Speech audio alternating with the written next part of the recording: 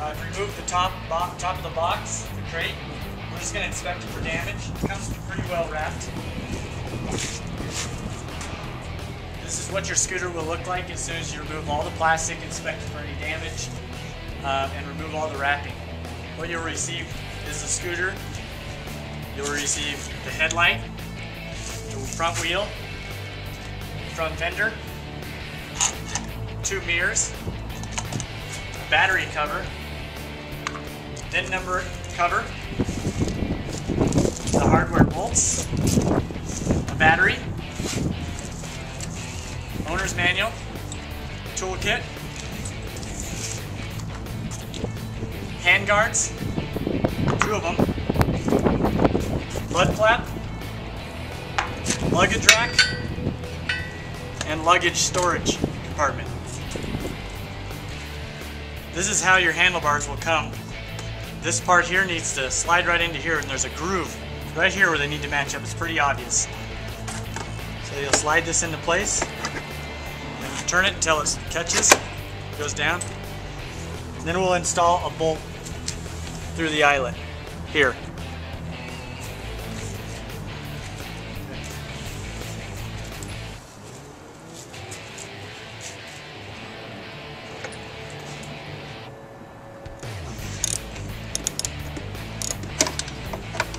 So I've tightened this bolt, but if you notice here, we still got movement. That'll tell you it's not tight enough. So we'll, we'll go ahead and tighten that. So I've tightened this bolt up, the steering bolt. You'll notice that it's tight when, when you move the bars. The rest of the unit will move with it. it there's no slack in it. So as you can see, there's a hole for the mirror. We'll be installing the mirror, the threaded area into the control. Make sure you don't cross thread it. Once you got it in, nice and tight, see? You'll notice uh, you'll be tightening just like that, and they're tight, they're ready to go. These will, these will pivot, so you can adjust it. These are your hand guards. As you can see, one has already been installed. But they slide in. You've got this notch here. They'll slide in like so. And there's two holes that are just be screwed in there. One here and here.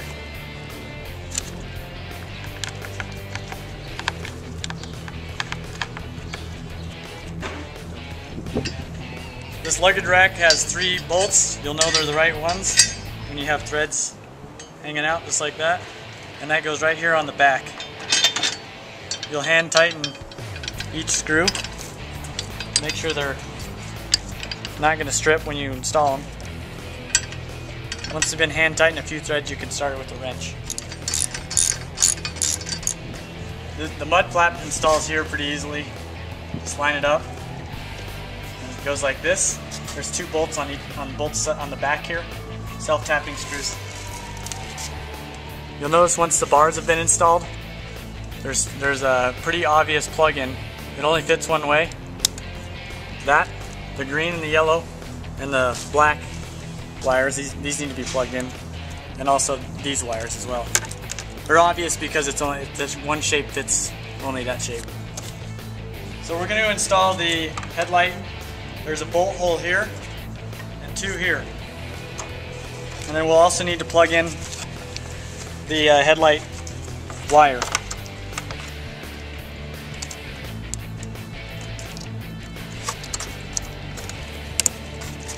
Once it's plugged in, just install the headlight. These are the bolts you'll need to install the headlight mounting. Uh, this big, larger bolt screw goes here.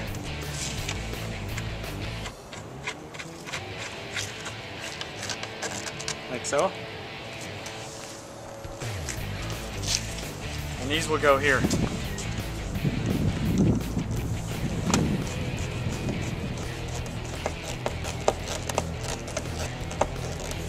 Same with the other side. The rectangle VIN cover goes right here, just clips into place, covers the VIN number that's there. Here's the fender bill, just kind of clips into place there, just like that. These bolts will come with the battery.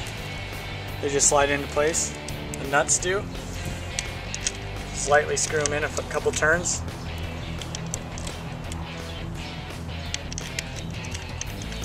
Remove the battery cover.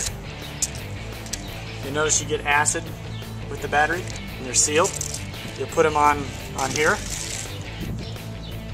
Get it, get it positioned correctly. Just tap it. Then you'll have a uh, safety pin, your tack. Just poke holes in the top of the acid bottle. Be, be sure not to get these in your eyes. The acid in your eyes or on your skin. If you notice the acid is draining down into the battery, once it's drained, you should let it set for at least two hours before charging it. You'll need a trickle charger, slow 2 amp charger.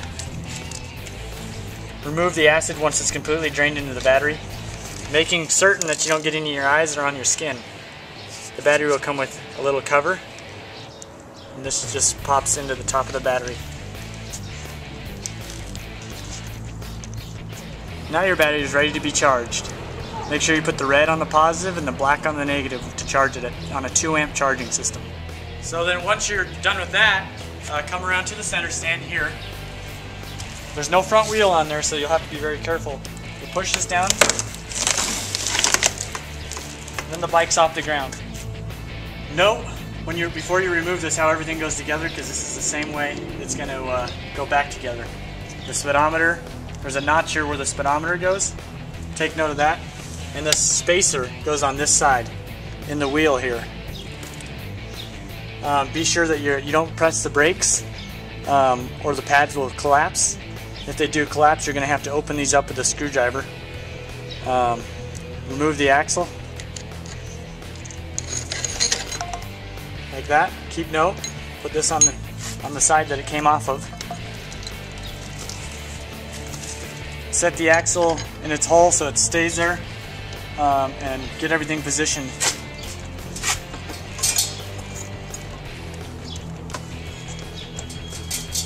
just like that. So you'll get four 10 millimeter bolts, 10 millimeter head, um, and we'll install the front fender. Front fender just goes on just like this, and just hand screw the. Uh, so I've, I've hand tightened the uh, these bolts here. They're 10 millimeter head. Um, there's two on each side for the front fender. Just lightly uh, snug them up with your, your ratchet. This is the hardware you will receive with your luggage rack. Your luggage rack will be placed here. Okay. This is all universal hardware. We so we supported it with these two bolts and uh, the beam underneath here. It holds it real nice and tight. If you notice uh, when you push the brakes, the rear brake, this handle, goes down a little further than this one. Uh, back here, behind the wheel, this nut here, you'll simply just tighten it with your fingers until you get the desired um, brake feel that you're looking for. So up here, it's much tighter now. Just three little turns. So this is your negative. The black is always negative. You notice there's a negative symbol here, and the positives go here red, they're red. Um, you also notice here, these two will go to the positive. They're both red, so they go together. You notice here, this is a fuse box. If you lose all power at any point in time, your fuse may be blown. There's a spare one in there. So, once your battery is installed, just uh, slide the cover into place. They'll, they'll clip down. Just like that. And then there's a Phillips screw that goes right in there. If you notice there's a lot of play here in the hand grip. You shouldn't have that. Slide this rubber boot back, and you can loosen this nut. When you, as you loosen it, you lose the play up here. You notice there's not much play. You always want to check the oil, which is located here, your dipstick. Make sure the bike is on the center stand. Unscrew it, and you just want to not screw it in, but just push it in. And you notice here, it's in the operating range. There's a little graded area.